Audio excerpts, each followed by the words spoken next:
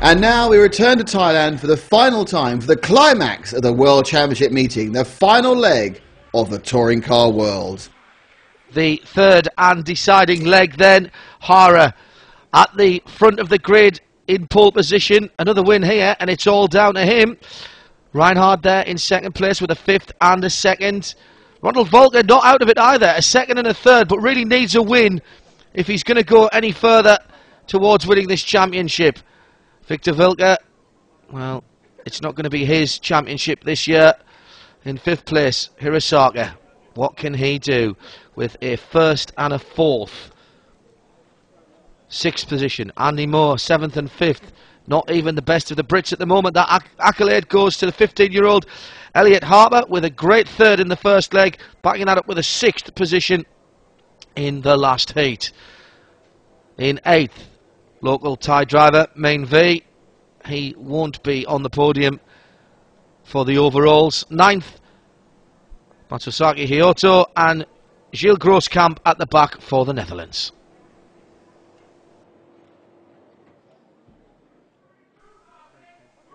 So this is it. It comes down to this race. Andy Moore almost urging his car forward before even we get the go signal. And Hara leads away. There's all kinds of carnage in behind him, but the first three have got away clean. Hara, Rheinard, and Volker.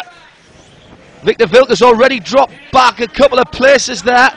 So he was involved again in that early. That's a great camera position there. Really see the speed. 62 and a half miles an hour on the speed gun going into that first corner. That's a scale speed of over 620 miles an hour. That's why these guys are so good because their reflexes have to be absolutely sharp. And they're not on their own, as you can see. The leaders into the infield. Rheinard can still win this World Championship. Telling Nick Damon that he was thought he was out of it and he was really racing for second, but a win in this final heat and the world would be his. So whether he is going to drive the conservative race, Carl wasn't really set up to his liking in leg two, but this looks better for the German. He's really hassling Hara, isn't he? Hot Bodies leading from Tamiya in second. And we know that Rheinard can get just a little bit testy if he feels he's being held up. Not frightened of getting a bit physical with the nose of his car. That was the point there in that infield section in the first leg where he put the Japanese driver on his roof. And Rheinard is right in the wheel tracks of Atsushi Hara. Very strong through here, the German. Likes the technical part of this course. A lot of drivers seeing this rather too much braking for their liking. But it has, I think, been a very successful layout. Certainly, we've had some cracking racing here. And Rheinard, look how quick he is there. He's keeping the power on so late. Riding the curbs. Risking getting the car sideways. This is the battle for the lead. Can't get any closer than that. Tremendous stuff. And Rheinard just deciding that for that moment discretion was the better part of valour. Coming down to two and a half minutes to run. And the leaders have been locked together from the start of this race. And Hara with a first and a fourth position.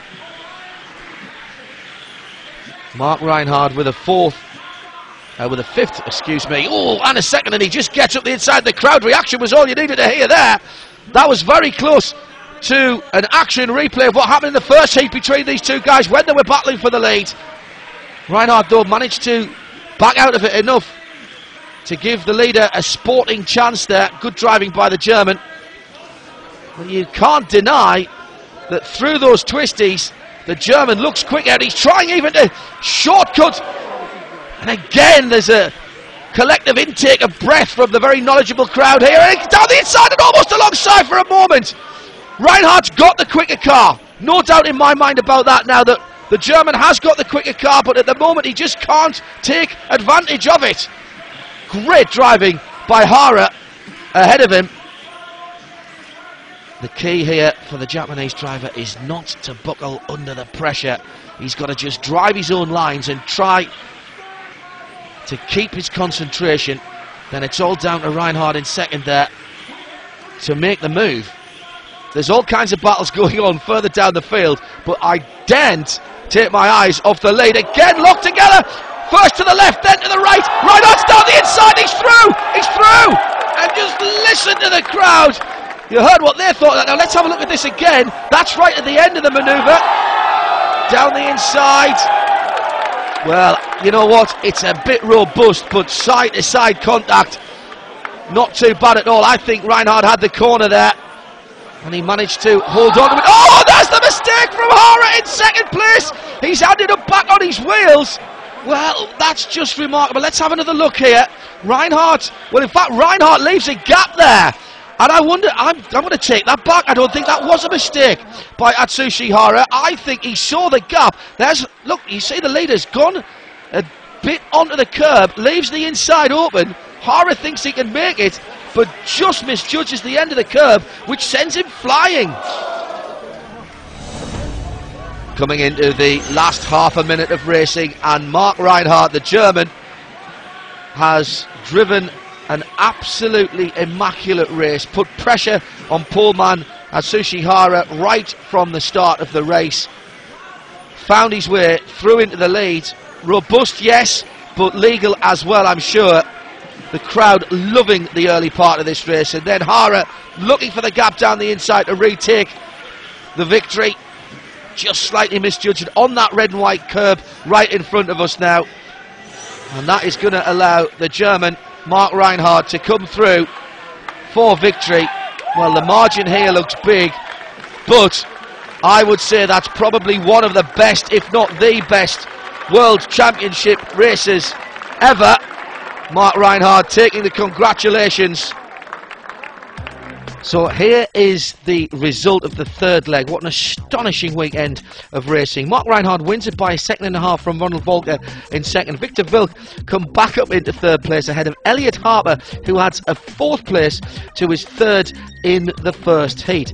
Atsushi Hara down in fifth bad news for him because when we look at the overall standings, well, we've already called Marc Rheinard as the first ever double world champion. The German with a first and a second. Volker with two seconds is in second place overall. Nice bit of symmetry there for him. And quite amazingly, Hirosaka in third place with a first and a fourth edges out Hara of the overall top three. But what about this story? in fifth position overall on the final standings. Elliot Harper with a third and a fourth place from a championship where he was only coming to have a little look and gain a bit of experience. Marvellous stuff. It's an excellent shampoo, Marc. Um, I don't know what to say. You told us you're going to be conservative. You weren't. You are world champion, the first person to retain it. How do you feel?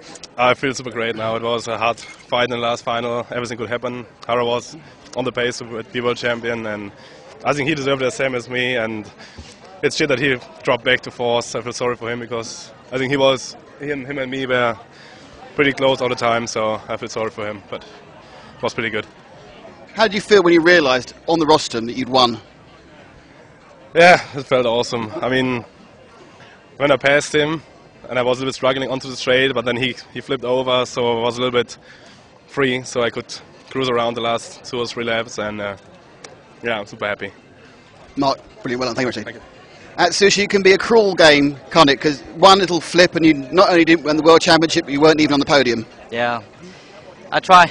I try to keep front of him, but he was pretty fast, and uh, he passed me, and uh, I tried to pass him again, but a little too much inside and a crash. But I tried to best, so I'm not disappointed this race. Despite that, you've had a fantastic year, haven't you? Yeah, very much.